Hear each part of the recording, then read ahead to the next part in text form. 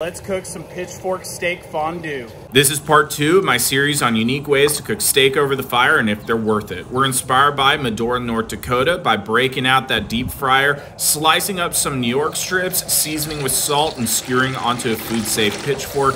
We're gonna deep fry them at 350 for a couple of minutes until they're about 125 internal. Once they're done, pull them off, let them rest, slice them up, and then we're gonna serve them how they do in North Dakota with some baked beans and a baked potato right on the side. All right, let's try some.